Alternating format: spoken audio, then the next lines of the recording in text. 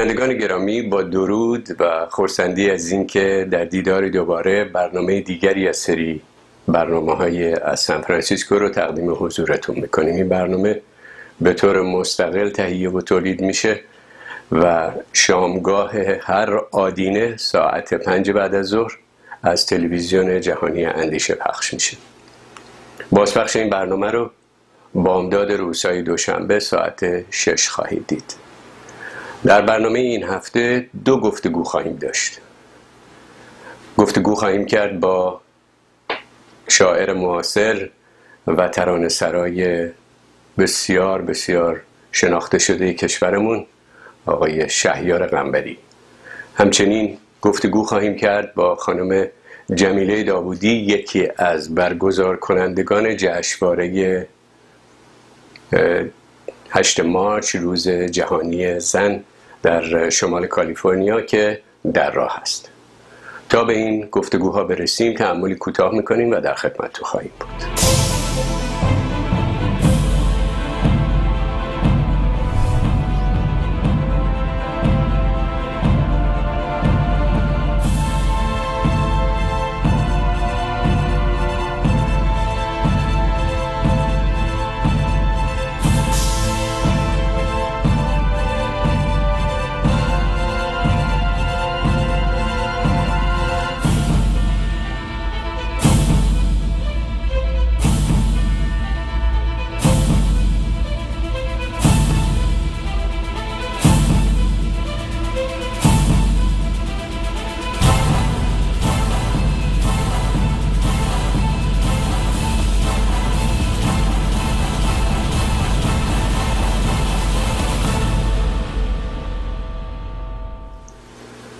جمعه ها نون و پنیر و سبزی قصه دو ماهی. وقتی نام این ترانه ها رو من می‌برم می‌دونم که در ذهن بسیاری تنین این ترانه پخش میشه.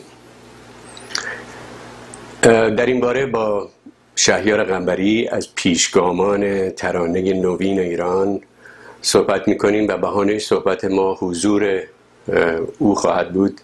روز یک شنبه دوم ماه مارچ یعنی همین یک شنبه آینده در شهر دنبیل در ویلیج تیاتر ساعت هفته بعد از ظهر که من توصیه می‌کنم تمام کسانی که می‌خواهند ترانه خوب بشنوند کلام خوب دوباره به گوششان بخورد حتما این شب رو فراموش نکنید. گفتگو می‌کنیم با شهیار غنبری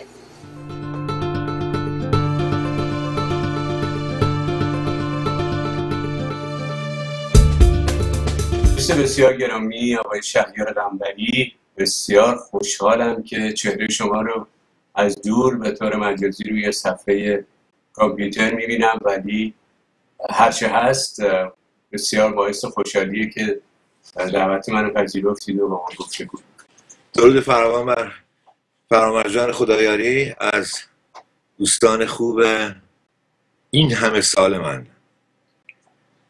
آقای برای خبر بهتر این هستش که ما به زودی شما رو خواهیم دید؟ درود بر تو عزیزم. منم خیلی خوشحالم که بعد از یعنی به فاصله چند ماه پس از آخرین شب ترانه که در سان فرانسیسکو داشتم در ماه اکتبر شد 2013 در سال جدید دوم مارچ در خدمت شما خواهم بود. اگر عشقی هست میان من و سان فرانسیسکو دیگه. یعنی بله. از قرار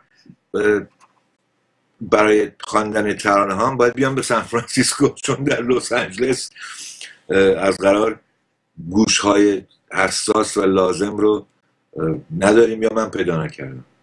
خب پس یک شنبه دوم مارچ با شماره در شنبه دو مارچ در Village Theatre Danville خواهم بود در همراه باند موزیک شما بهتر از من می‌دونین دیگه. و در در کجای در چه فاصله ای است از سان فرانسیسکو؟ بله در شهر سان فرانسیسکو. در کنار فرزاد جان ارجمند و band ش music ensemble ش که که نوازنده های بسیار خوبی داره. از جمله تام تام دوارت که خیلی نوازنده خوبیه و انسان زیبایی است. من بسیار رو دوست میدارم. از بچه های بند من خوشم میاد خیلی مهمه. و بعد اصلا کار با بند خیلی خوبه دیگه. در, در روزگاری که همه بیشتر با کامپیوتر کار می‌کنن کلک می‌زنن نمی‌خونن لب می‌زنن رو صحنه از این کار می‌کنن. بازگشت به اصل کار حس خوبی به آدم میده. اینکه با نوازنده خوب کار بکنی چلنج دیگه چالش دیگه. خیلی خوبه. خیلی من به قول این جایی ها اکسایتدم من بسیار خوشحالم که ببینیم یک شنبه شرقی حتما حتما خدمتتون خواهم رسید بسیارم. بعد از این همه یوری حتما به دیدارتون خواهم آمد. برتو فرما جان. شهریار عزیز اگر بخوایم پیشینه ترانه رو بهانه که با هم صحبت کنیم آمدن شما. اگر بخوایم پیشینه ترانه رو بررسی خیلی سریع بکنیم از عارف و علی اکبر شیدا و بعد رهی معیری و معینی کرماشایی و کریم فرپور و اینا یک هدیه به شما رسید به شما و دوستان دیگرتون اردوان سرفرازی و جنتی اتایی و شما به خوبی از این هدیه که به شما داده شد نگهداری کردید و اونو سیغل تازه دادید و دیگه از خود شما رو اگه بگم دیگه قبل از انقلاب آهنگای موندنی که برای همیشه در تاریخ ترانه سرایی ما باقی خواهند بود من گنجشگاه خوبه هر کدومی که میگم یه نفر الان داره زمان که البته مال اردلان بود. آه بله من بوی گندم بله شبانه ها به این سمت بله. بله. و ما الان بدون رو درواسی خدمتتون بگم رسیدیم بعد از اون همه ترانه ها رسیدیم به یه بوس بده برای مریض بخوام و از این صحبت ها. چطور شد؟ چه, چه سر ترانه آمد کی مقصره؟ چرا اینجوری شد؟ همه با هم. ما کارمون رو جدی گرفتیم. به جای که خودمون رو جدی بگیریم. این روزها بچه ها که به باور من شاگردانی هستند رها شده در کلاس درس بدون معلم و هر کی داره یه کاری می‌کنه می‌زنه سر بغل دستیش از رو بغل دستی نوت برمیداره تقلب کنه توی همچین کلاسی شما قراره که ترانه تولید بکنید. در چنین کلاسی که آدم ها یاد گرفتن تنبلی کنن کار نکنن به جهان وصل نشن به جهان ترانه وصل نشن مطالعه نکنن و و و قد نکشند ترانه درست ترانه امروز ترانه سالم ترانه که بتونه ادامه ترانه ما باشه تولید نمیشه.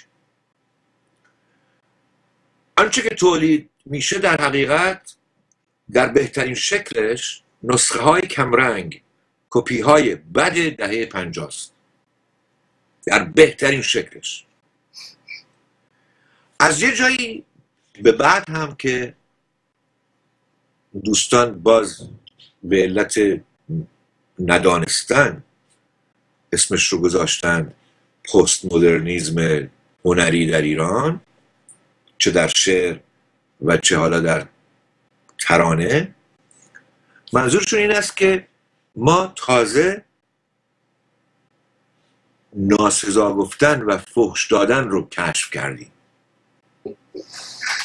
یعنی اینکه به هم فحش بدیم کار بسیار مهمی است یک نوآوریه. از این جای بعد اون وقت شما حتی سطح ترانه رو نازلتر می‌بینید از از پست مدرنیزمشون همه و همه برمیگرده به اینکه آدم ها کار نمی کنند آدم ها بیشتر چرک نویس هاشون رو منتشر می‌کنن. من همیشه در این باره حرف زدم و وقتی که می‌خوای کمکشون بکنی. وقتی بهشون میگی که آقا از رو دست من و دیگری ننویسید. تجربه شهیار غنبری رو دوباره رونویسی نکنید. تجربه خودتون رو بنویسید. شما نمی‌تونید تجربه منو دوباره بنویسید. می‌تونید. کار, ب... کار بدی از آب در میاد. بعد از سفرنامه من بسیارانی سفرنامه رو کپی کردن. احیانا یک هفته هم با تور آمدن به اروپا که, تاریخ مصرف هم داشته باشه. ولی همه کارهای بسیار نازلی هستن. بسیار بی ارزش برای اینکه کپی هستن. در کار هنری کپی شکل نمی‌گیره. در کار هنری چیزی به اسم تقلید وجود نداره. اگر در مذهب هست و باید رعایت کرد مرجع تقلید در هنر مرجع تقلیدی وجود نداره. شما چند تا هنرمند مورد علاقه می‌تونید داشته باشید استاد می‌تونید داشته باشید. من خودم آموزگاران بسیاری دارم. تو این آموزگاران روس, روس هست اسپانیایی هست فرانسوی هست ایتالیایی هست. مهم نیست چه ملیتی داره. مهم اینه که من به عنوان استاد او رو پذیرفتم و افتخار می‌کنم که شاگرد او هستم.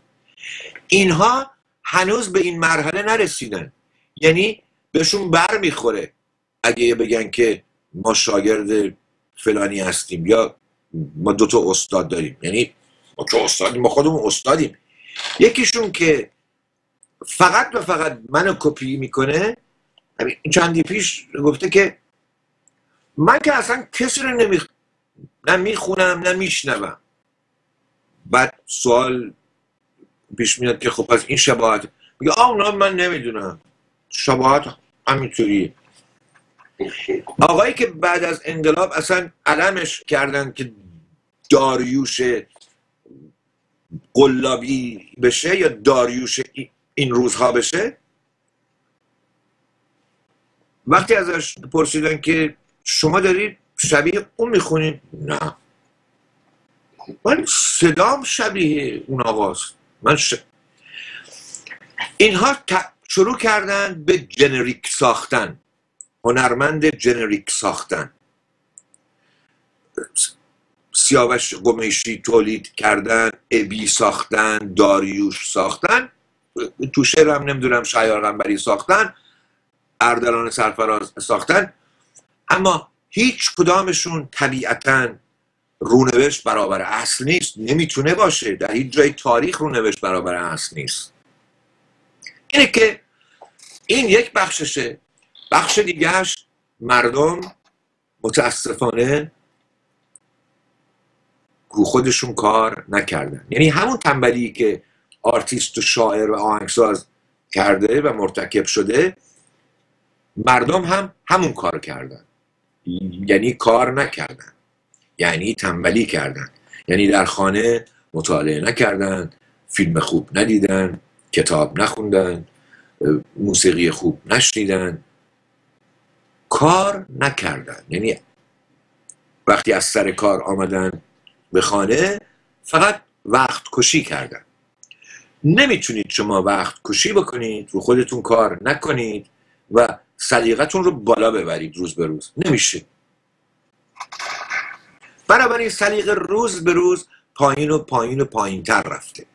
امروز آنچه که تولید میشه به ویژه در ایران اینجا که تولید تقریبا رسیده به صفر. باز به لطف آقایون باز به لطف کارهایی که آقایون کردن در این سالها. الان حتی بازار کنسرت در اختیار آقایونه. امسال شاید دومین سال بود اگه اشتباه نکنم که برادران آقازاده ها آمدن در لاس ویگس کنسرت گذاشتن. یعنی کنسرت های ویگس که دست آقایون دیگه بود دست تلویزیون دارها بود امسال رسید به آقای ایکسی که در کاناداست و برای نمی‌دونم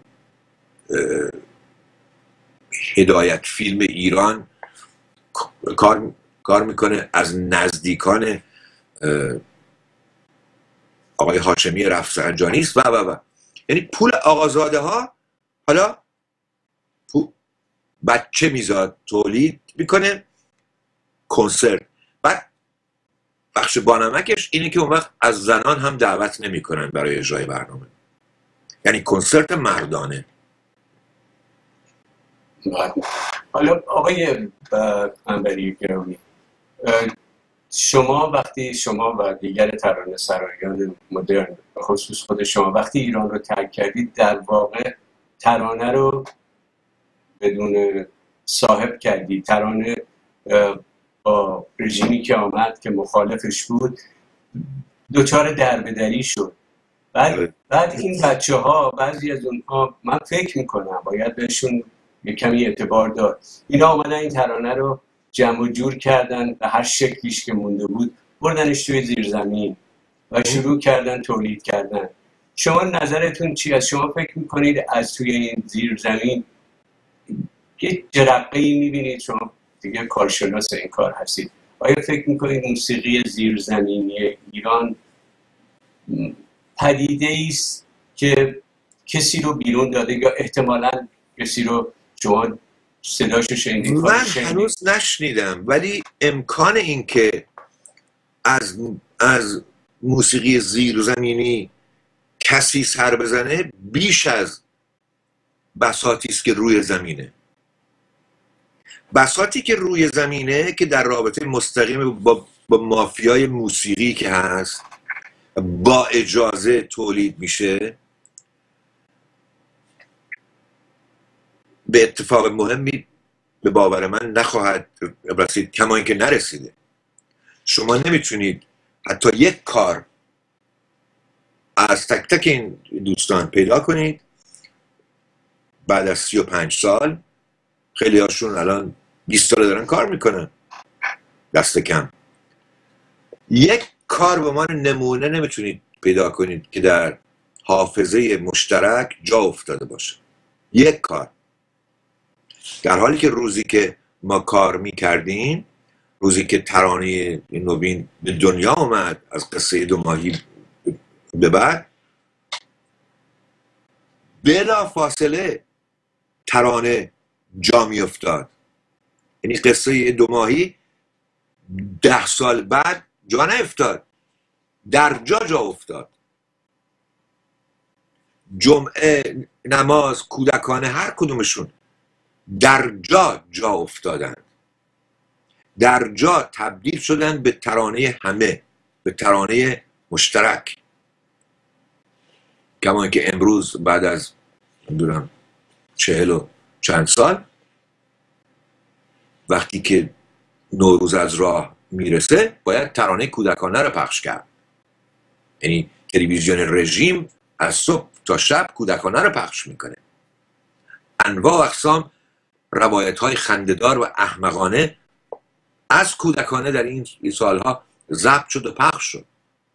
از آدم های رژیم آقای بنیامین تا مجاهدین همه یکی یک بار حداقل کودکانه رو خوندن. به بدترین شکل. حالا برای من یک ترانه رو از تولیدات این سی و پنج سال از فراورده های انقلاب به این سو نشان بدید که در حافظه مشترک جا افتاده باشه. کاملا درست میگی. ولی آیا شما منظور من این بودش که آیا شما یک استعدادی رو می‌بینید که به خودتون این رغبت رو بدید که کار برعکس بکنید؟ یعنی اینکه ترانه رو به او بدید در ایران در زیر زمین این رو بخونه من خیلی دوست میدارم این اتفاق بیفته. با بسیارانی هم حرف زدم. اما مشکل اساسی که هست اینه که همچنان وحشت هست همچنان عدم اعتماد در حالی که اگر اینها نبود اگر وحشت نبود یا اگر ما هر دو طرف شجاعتر بودیم می‌تونستیم با هم کار بکنیم. از اون طرف این اتفاق افتاده یعنی از اون طرف با این طرف دارن کار می‌کنن. متاسفانه با کارهای رایگان با کارهایی که عموما کپی های کمرنگ دهه پنجاه خورشیدی همونطور که گفتم. یعنی خواننده معروفی که آلبوم گرفته از ایران به دلیل اینکه یعنی به این خاطر که برای او دردسری تولید نمی‌کنه و پولی از کیسش نمیره این رو خونده. اما خودش متوجه نیست که تک تک این کارهایی رو که خونده کپی های ترانه که خود او خونده. 20 سال پیش 30 سال پیش. از اون طرف این اتفاق افتاده. اما از اینجا نه. بخش بانمک داستانم همینه که از اون طرف آزادن. از اون طرف میان اینجا برنامه می‌گذارن. آقای مسترپیس این آقای شاهکار نمی‌دونم هرچی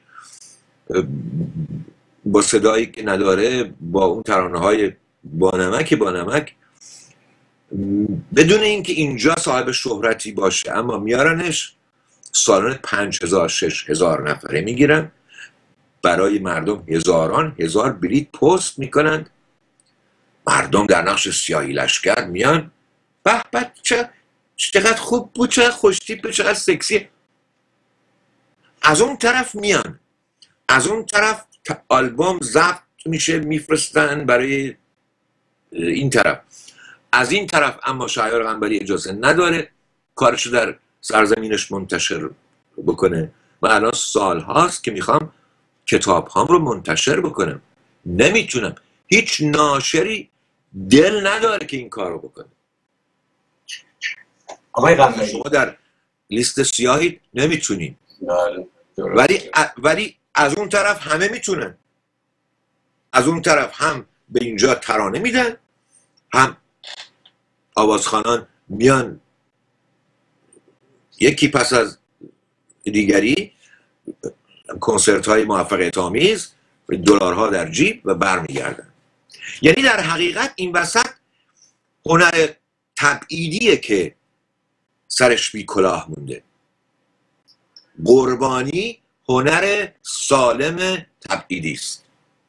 آقای قنبری گفتید که کار کردن با بچه های ایران و همچنین کار کردن اینجا من البته این تجربه رو با شما نداشتم ولی معروف است و میگن که کار کردن با شهریار قنبری مشکل. شهریار قنبری بسیار سختگیره و بسیار حساس و این کارها رو مشکل می‌کنه. آیا این, این فرضیه رو شما تایید می‌کنید؟ اگر که الان میگم حتما الان بهتون میگم. این همین سوال رو از کوبی براینت کردن شماره 24 تیم لیکرز بله. که همه میشناسیمش. می‌دونید چی گفت؟ گفت دقیقا. منتها برای کسانی که تنبلن برای کسانی که مثل من دوست ندارن برنده بشن پیروزی رو دوست ندارن مثل من کار نمی‌کنن مثل من زحمت نمی‌کشن. برای همه اونها من فوق العاده سخت گیرم و فوق I'm a pain in the neck. منم دقیقا همین پاسخ می‌تونم به شما بدم. برای تنبل ها برای کسانی که از خطر کردن از نوآوری بیزارن اصلا نمی‌دونن یعنی چه. برای کسانی که مدام می‌خوان خودشون رو تکرار بکنن نمی‌خوان به منظره های تازه تر برسن. برای همه اونها من کاملا دشوارم سختگیرم زود راضی نمیشم. یه بار بخونیم و حالا خوبه کی می‌فهمه. اصلا در در برنامه های من نیست در فرهنگ من نیست در فرهنگ من همه می‌فهمن. در در اون چارچوبی که من بزرگ شدم گوش های آدم ها ارزش دارن. آدم ها برای من شماره نیستن کیلویی نیستن. تک تک این گوش ها برای من صاحب ارزشن. من به اون گوش ها خیانت نمی کنم و کارنامه این رو میگه که خیانت نکردم. اینه که به همین سادگی. برای تنبل ها من کابوسم ولی برای اونها که عاشق کارشونن و کارشون رو جدی می‌گیرن نه خودشون رو من یک همراه کاملا آسون و راحت easy easy easy easy easy rider شهریار گرامی شما بعد از انقلاب وقتی کشور رو ترک کردید البته این حدس من رو اگر جای شما کنم بگید ولی آمدید به اروپا بله. در پاریس خوندید از پاریس گفتید سرودید و خوندید تا رسیدید به آمریکا و اینجا ماندگار شدید. و هنوز هم اینجا هستید سال هاست که اینجا لس آنجلس هستید. ولی اخیرا برای کسی کاری تولید نمی‌کنید. اگر هم کاری تولید می‌کنید برای خودتون اون رو می‌خونید. آیا کلا راضی هستید یا با اینها دارید زمستون رو سر می‌کنید؟ دارم زمستون رو سر می‌کنم. راضی حتما راضی نیستم. برای اینکه من مدام کار می‌کنم. من هرگز تنبلی نکردم و اصلا تنبل نیستم. من این رو از استادام یاد گرفتم که فارغ از اینکه در بازار چه میگذره شما باید به خودت اوردر بدی به خودت باید سفارش بدی. به عنوان یک آرتیست یک شاعر باید مدام کار بکنی. من مدام کار می‌کنم. یک اتاق کار دارم. کار آماده انتشار. راضی نیستم برای اینکه چیکارشون بکنم. ناشر نداریم. امکانات چاپ مهیا نیست. تمام کارهایی که من منتشر کردم خودم سرمایه گذاری کردم. یعنی خودم هم ساختم هم تولید کردم هم فروختم. خب این کار کار دشواریه. من به عنوان شاعر غنبری اجرا کننده فقط یازده آلبوم مستقل دارم. خیلی زیاده. بزرگانی هستن که فقط مثلا 14 تا دارن. با اون امکاناتی که در انگلیس هست و در آمریکا هست. یعنی کار بسیار دشواریه. اما من دلم می‌گیره وقتی که می‌بینم این همه طرح و پروژه دارم برای کار موزیکال برای فیلم name it. ترانه طبیعتا. و امکانش نیست یعنی تهیه کننده نیست. موجودی به نام تهیه کننده نداریم می‌بینید که نهایتا کسی که برنامه می‌ذاره کارش کار دیگه است ماشین میفروشه حالا برنامه هم می‌ذاره. نمی‌دونم این کار دیگه می‌کنه سلمونی داره و اون کارم. ما هنوز حرفه‌ای نداریم. یعنی تهیه کننده حرفه‌ای نداریم. سرمایه گذار نداریم. آرتیست نمی‌تونه همه این کار رو خودش به تنهایی بکنه. و بدتر از همه اون نکته مهمتر اینه که مردم حمایت نمی‌کنن یعنی اون بخشی که قراره از من حمایت بکنه بخش دانشجو پول نداره. عموما در ایرانه هواداران من عموما در ایران زندگی می‌کنن. از این طرف خبر فوق خبر فوق که من فن و هوادار همسند خودم ندارم اصلا و ابدا. اما تا بخواهید فن 18 ساله دارم. تا بخواهید فن 20 ساله دارم. سی سال و اینا کمتر از 20 ساله. این فوق است. یعنی اگه قرار باشه من به چیزی افتخار بکنم به این افتخار می‌کنم. که من تونستم با جوان ایرانی به زیبایی رابطه برقرار کنم. اینه. این دردم رو ساکت می‌کنه. اینکه چرا نتونستم همه این کارا رو بکنم. خب ونگوگم یک تابلو بیشتر نتونست بفروشه. چرا چرا اینجوریه دیگه. خب اما اینا باعث نمیشه که من دست از کار بکشم. همچنان کار می‌کنم. تا 20 روز 25 روز دیگه یه مینی آلبوم یا یک آلبوم که تازه منتشر می‌کنم که این بار با پسرکم که شما میشناسیدش کار کردم. هر دوتا با هم کار کردیم. اون بخش خودش رو نوشته چون شاعر فوق العاده من بخش خودم رو با هم اجرا کردیم. این یک کار فوق العاده است. یک کار تاریخیه برای من. یادمه که خودم دوست می داشتم این کار با پدرم بکنم که نشد. ولی خب حالا من و پسرم این کار کردیم. چه خبر خوبی آقای آره خیلی خیلی. خود کار فوق العاده شده. خیلی زیاد. پس دیگه نمیشه صبر کرد باید. نه نه نه نه حتما با هم حرف می‌زنیم حتما در موردش صحبت کنیم.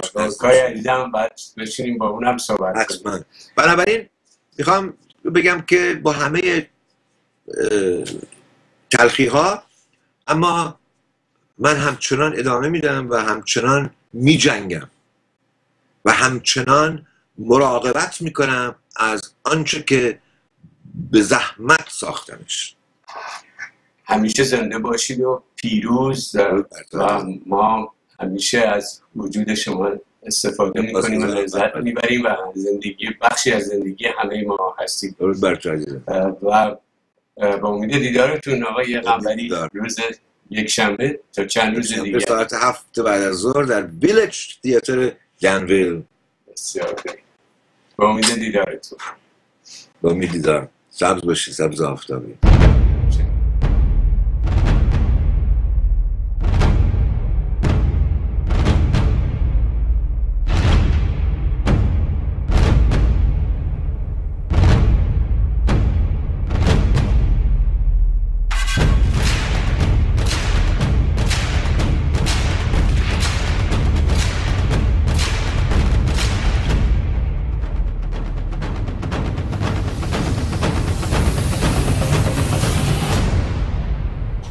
بینندگان گرامی این بود گفتگوی ما با شهیار قنبری بی سبرانه در انتظار دیدار او هستیم. امیدوار هستم که تعداد بیشتری به ویلیج تیاتر شهر دنویل روز یک شنبه دوم مارچ بیایند و به این شاعر دلشکسته ما بگویند که هنوز گوش شنوا برای کلام زیبا هست. و صحبت کلام زیبا کردیم. چند روز پیش یکی از دوستان ایمیلی برای من فرستاده بود که شامل این چند جمله بسیار زیبا در مورد زن بود که بی مناسبت نیست که این چند جمله رو دوباره براتون بخونم.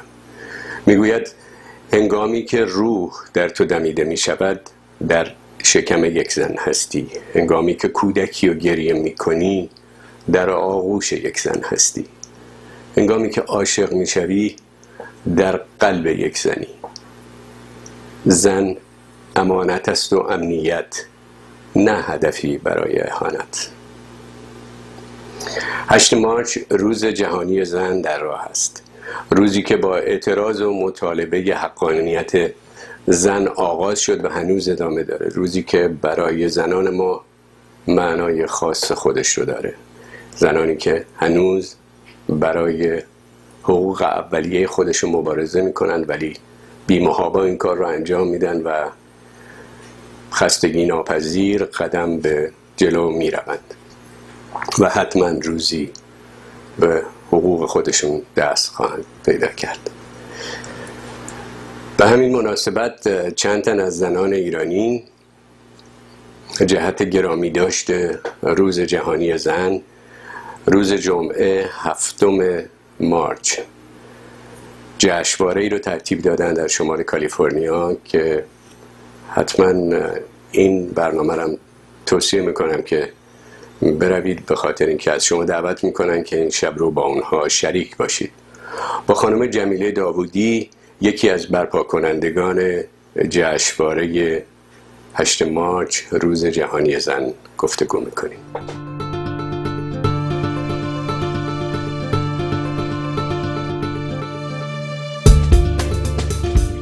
خانم جمیله داوودی بسیار خوشحالم که اینجا هستید و از ازتون سپاسگزارم که دعوت ما رو قبول کردید و در استودیو ما حضور پیدا کردید. خیلی ممنونم از شما آقای خدیوی واسه دعوت من. بهانه گفتگوی ما امروز با هم دیگه روز جهانی زنه. روز 8 مارچ روز بزرگی برای زنان در جهان و به خصوص کشور خودمون. ما آگاه شدیم که شما تدارک دیدید تدارک یک جشن یا جشنواره رو گرفت دیدید برای روز جهانی زن 8 مارچ. اگه ممکن توضیح بیشتری در مورد این خودتون بفرمایید. بله. ما برنامه امسالمون روز هفتم مارس هستش که جمعه است. و توی کوپرتینو کامیونیتی سنتر هستش و برنامه بسیار متنوعی رو تدارک دیدیم.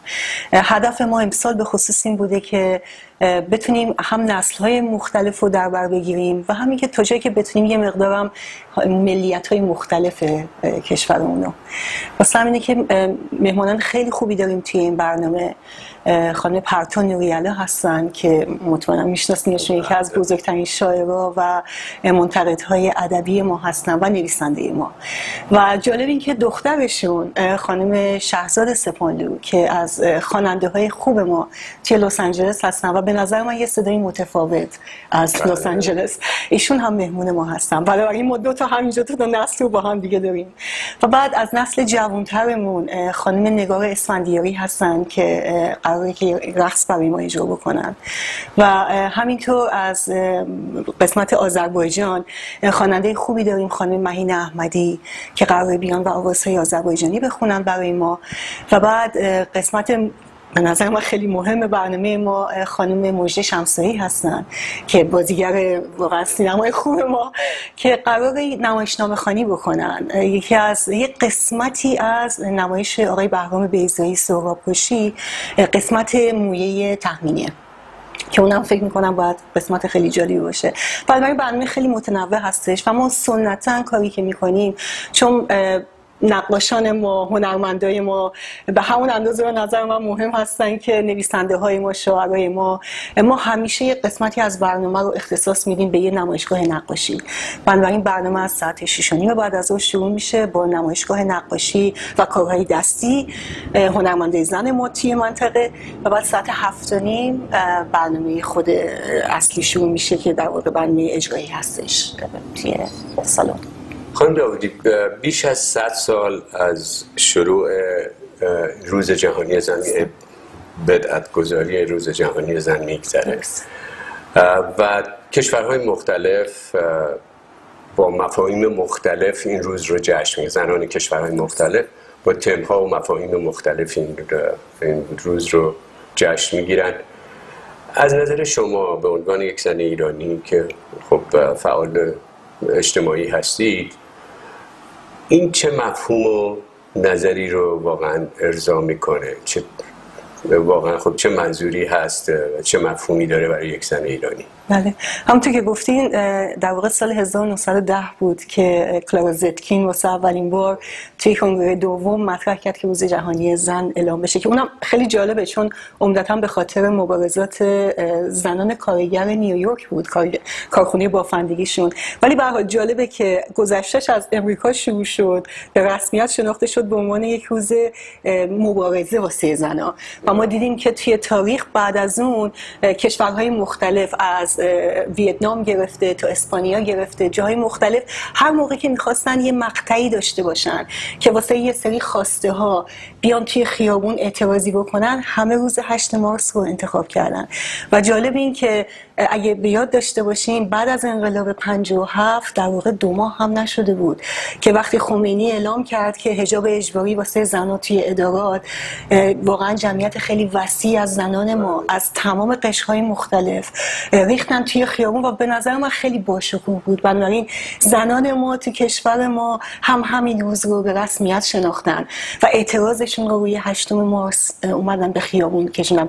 به که متاسفانه حمایت نشد از خیلی گروه ها ولی خب اون جریان دیگه نکته این که روز 8 مارس از حالت یعنی یه حالت سمبولیک داره. به نظر میاد که زنای کشورهای مختلف چون یک روز جهانی هستش بنابراین یه بهونه می‌دونن این روز واسه اینکه بتونن خواسته هاشون رو به خیابون ها بکشونن. و جالب این که در سال 2006 همون سال اول دولت احمدی نژاد زنای ما داخل کشور خواستن خواستار این شدن که یه سری تظاهرات سراسری انجام بشه که اون موقع خواستشون هم عمدتا آزادی جنسی و برابری و زندونیای و آزادی زندونیای سیاسی بود که اون موقع اولین موقعی بود که یه حرکت همگانی اتفاق افتاد توی آمریکا، اروپا و کانادا ده. که ما هم توی سن همون روز 8 مارس یادم یاد اون موقع چهارشنبه بود. ما همه رفتیم توی سنحوزه جلوی دانشگاه و تظاهرات کردیم به حمایت از زنانمون در داخل کشور. علت اینکه اینو میگم اینه که در جواب سوال شما شاید اون اولین حرکتی بود که مستقیما در ارتباط با یک حرکت در داخل ایران بود. ولی به جز اون انصافا اکثر حرکتی که ما می‌کنیم جشن روز جهانی زن هستش و سعی می‌کنیم که مثل بقیه زنای دنیا چون روز جهانی هستش ما هم این روز رو یه بهونه بدونیم و بتونیم به حساب جشن بگیریم و, و در واقع اعلام همبستگی بکنیم با زنانمون تو ایران. و نگفته نماند که توی چندین سال گذشته بسته به اینکه چقدر فضا بوده. زنای ما واقعا توی ایران سعی کردن که یه برنامه‌ای داشته باشن برای روز جهانی زن. متاسفانه توی سالهای اخیر یه مقدار کمتر بوده. اگر سابق می‌تونستن یه سالن بگیرن یه جلسه باز داشته باشن یا توی پارک لاله برن تظاهرات داشته باشن متاسفانه توی چند سال گذشته بیشتر خونگی بوده. ولی به هر نشست ها ادامه پیدا کرده. بنابراین این حرکت ما نمی‌تونم بهتون میگم تاثیر آنچنانی توی وضعیت زنای ما توی ایران داره ولی عمدتا یه یه علامت همبستگی هستش با زنانمون توی ایران و جاهای دیگه دنیا. به مسئله بسیار خیلی حساسی شما و اشاره کردیم. و اون هستش که خب زنان باید با هم این کار رو انجام بدن. به خاطر اینکه بخصوص در کشور ما تبعیضی که در مورد زنان قائل میشه ستیزی که باز حقوق زنان میشه هیچ کدوم استثنایی در واقع رژیم براش قائل نیست. تمام زنها زیر تیغ این تبعیض هستن. ولی متاسفانه در سالهای گذشته حالا هر سال خوشبختانه بهتر داره میشه. زنان با تفکرات مختلف زنان ایرانی مفهوم خاصی می‌دادن در روز جهانی زن. حالا شما تصور نمی کنید که زمان اون رشته با هر فکر و تفکر و عقیده ای زنان در چنین روزی بتونن دست در دست یکدیگر بگذارن. مثل کاری که در آمریکا میشه زن روز جهانی زن زنان سیاه پوست زنان سفید پوست زنان ریپابلیکن دموکرات اینا همه با هم در یک جا این یعنی جشن می‌گیرن. آیا فکر نمی در کشور ما هم زنها حداقل در مورد این روز به خصوص باید اون خطها رو کنار بذارن و با هم کار بزرگتری انجام بدن. من فکر کنم که نکتتون خیلی درسته. اتفاقی که توی ایران افتاده اینه که خب یه زنانی که خواهان آزادی و برابری زنان هستن و معتقدن که توی این دولت وجود نداره. سوای این که عقایدشون چی هست به این روز وفادار هستن.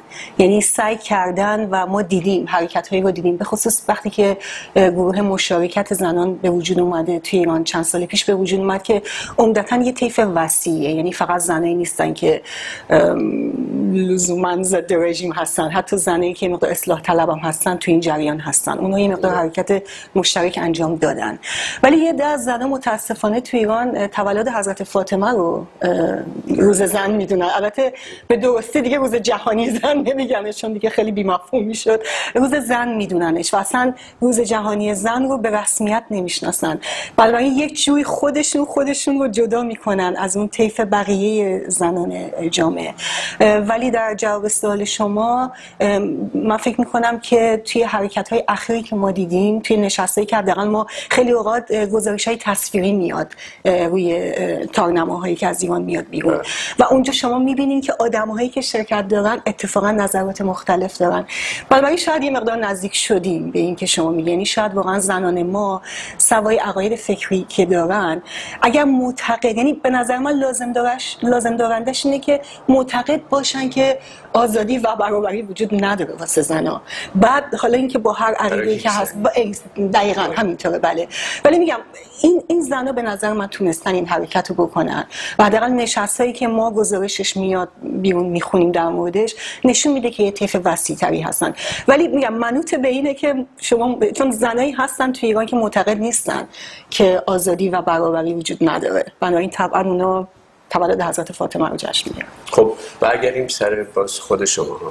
شما وقتی میگم شما و دوستانتون که این برنامه تدارک دیدید خب با آشنایی های طولانی که ما همه با هم داریم در این ناحیه زندگی کردیم همدیگر تقریبا می‌شناسیم می‌دونم که همه شما زنان ای هستین دارین کارهای خیلی هم مشاغل خیلی خوبی داریم خیلی مشغول هستید چه قوه محرکه اینجا وجود داره که شما کار کنار می‌گذارید و میایید دست به دست دوستانتون می‌دید یک همچین جشنی رو برپا می‌کنید.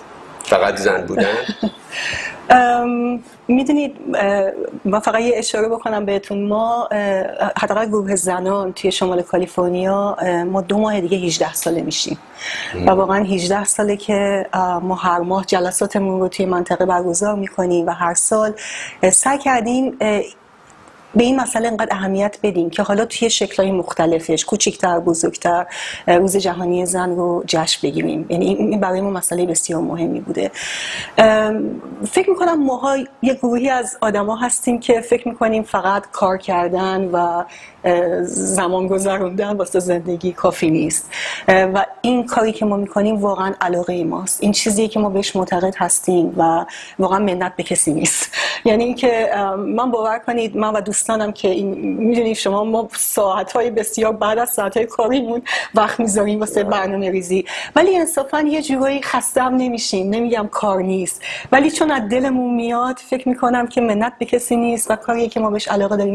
من فکر به خاطر اینکه اعتقادمونه. یعنی واسه اینکه ما هممون بتونیم توی یه جامعه و توی یک دنیای بهتری زندگی بکنیم باید برابری وجود داشته باشه. و اگر فکر کنیم که کاری که می‌کنیم حداقل یه گوشه کوچیکی هست که بتونیم این رو حداقل طرحش بکنیم. نمیگم حالا کار خیلی بزرگی داریم انجام میدیم ولی من فکر کنم طرح یک چیزی خیلی مهمه. و فکر کنم اینه که به ما انرژی میده. وگرنه واقعا همونطور که گفتین خیلی اوقات به جز خستگی چیزی نیست ولی اون اون هیجانی که آدم می‌گیره که همین کار کردن با هم دیگه آدمایی که معمولا یه هدف مشترک دارن از هم دیگه انرژی می‌گیرن وقتی یه کار مشترک انجام میدن. و شاید این انگیزه ما بوده که تا حالا تونستیم بکشیم این همه خب شما از این برنامه هایی که این چنین می‌گذارید 18 ساله خب جلسات زنان رو برگزار می‌کنید که خود می‌دونم که بیشتر داره به قول معروف تیف های زنای مختلف به یه تیف مشخصی تعلق نداره. چه پیامی شما فکر می‌کنید؟ به خصوص با برگزاری یک چنین روزهایی یا دوست میدارید؟ چه پیامی رو منتقل کنیم به زنان ایران که خوب واقعا در وضع بسیار بسیار بدتر از شما در نظر آزادی زندگی می‌کنه من فکر می‌کنم که اولا یه مسئله مهم اینه که شاید شما بدونید که سال 1975 بود تازه. یعنی نه, خیلی سال پیش که سازمان ملل روز جهانی زن رو به رسمیت شناخت. و فکر می‌کنم یه اهمیتی که سازمان ملل هم به رسمیت شناختن این روز داد این بود که شما نمی‌تونید توی دنیای زندگی کنید که برابر، برابری وجود نداشته باشه هم واسه زن و هم واسه مرد. و اینکه صلح جهانی اصلا ممکن نیست. اگر یه نصفی از جمعیت دنیا توی برابری نباشن. اگه شما رو همین پیغام حساب بکنید اینکه ما هر سال این برنامه رو می‌ذاریم مثل یک یادآوری میمونه که آدم ها فراموش نکنن که ما اگرچه خب ما من فکر می‌کنم ما راه طولانی آمدیم ولی هنوز راه طولانی در پیش داریم. واسه اینکه به اون برابری برسیم. و ما توی برنامهمون اگرچه سعی می‌کنیم حالت جشن گرفتنش یا سنگین تر باشه ولی ما از هر فرصتی استفاده می‌کنیم که بگیم که زنان ما توی ایران واقعا توی چه شرایط سختی هستن. همین که زنان ما به راحتی نمی‌تونن این روز رو جشن بگیرن و انصافا باید مخفیانه این کارو بکنن. خود این نشون میده که این نابرابری تا چه حدی توی کشور ما و کشورهای شبیه وجود داره. بنابراین شاید پیام این باشه که ما می‌دونیم چی داره اونجا اتفاق میفته اگرچه خارج از کشور هستیم. و میگم واسه ما بیشترین پیامش اینه که احساس همبستگی و اینکه ما اگه بتونیم کاری از اینجا انجام بدیم که بعضی اوقات واقعا می‌دونی فقط یه سری حمایت هاست بیشتر از هر چیزی تو اون حد بتونیم انجام بدیم. ولی خب اگر ممکنه به طور کوتاه دوباره اطلاعات رو یک بار دیگه بفرمایید که کجا باید بیان برنامه کجا اجرا میشه ساعت و هر, هر مشخصات دیگری که بله. مایل هستیم بفرمایید. برنامه روز هفتم مارس توی کوپر شهر کوپرتینو هستش توی کوینلند کامیونیتی سنتر هستش و از ساعت 6 و نیم بعد از ظهر نمایشگاه نقاشی شروع میشه و کارهای هنری و دستی و از ساعت هفت نیم برنامه شروع میشه.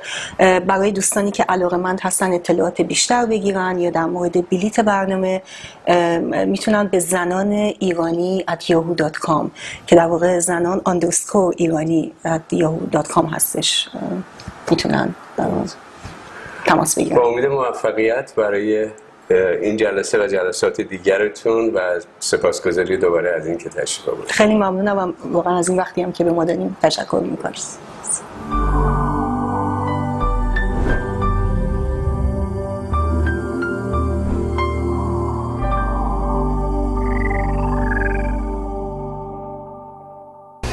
بینندگان گرامی این بود برنامه این هفته ما. در اینجا شایسته است که سپاسگزاری کنم از میهمانان برنامه آقای شهیار غنبری و خانم جمیله داوودی. سپاسگزارم از همراهان خودم رامین کلانی آیدا مظلومی در لس آنجلس و رضا خسروی در شمال کالیفرنیا که در تدوین و تهیه این برنامه منو یاری کردند. و در آخر ولی نکمتر سپاس فراوان دارم از بخش فنی و مدیریت تلویزیون اندیشه که پخش این برنامه رو ممکن ساختند. تا دیداری دیگر با آرزوهای بهتر بدرود.